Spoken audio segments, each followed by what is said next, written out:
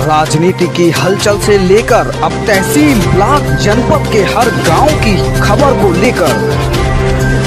पर समय जगत, एक संदेश, पूरा देश। एक आगाज़ सच दिखाने का। हम हैं आपकी आवाज़।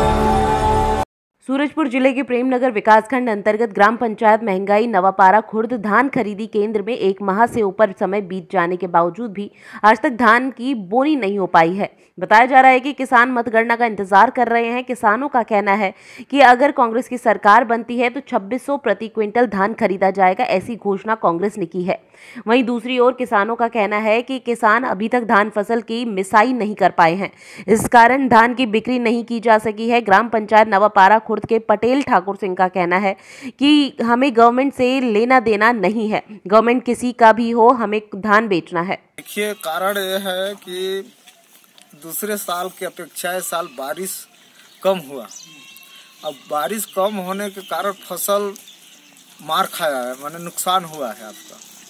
इसलिए बड़ा किसान है, वो ले, मंडी में लेके, ले ले जाके बेचेंगे। बाकी लोग कम में बेचेंगे। काहे कि फ़सल पूरा खराब हो गया है आपका। आप लोग धान बेचने का कब तक सोचे हैं?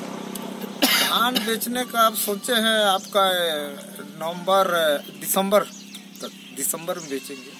क्या कारण है इतना लेट आप लोगों का धान बेचने का? देखिए अब अभी तो सब मिसाई उसाई चल रहा है। और कटाई हुआ है मिसाई होने के बाद बेचेंगे हम लोग। बहुत लोग किसानों का कहना ये है कि कांग्रेस की गवर्नमेंट बनेगी तो छब्बीस सौ रुपये धान खरीदा जाएगा कर्जा माफ़ी होगा इसलिए भी बहुत लोग नहीं बेच रहे हैं। इसमें क्या कहना है आप लोगों नहीं बहुत लोगों को तो सोच होगा लेकिन हम लोगों का वो सोच नहीं है। पता नहीं बीजेपी सरकार बनेगा या कांग्रेस सरकार? वो कोई भी सरकार बनेगा हम तो गवर्नमेंट के पास बेचबे करेंगे किसान लोग। सूरजपुर छत्तीसगढ़ से खबर समय जगत के लिए जिला ब्यूरो चीफ अखिलेश जायसवाल की रिपोर्ट।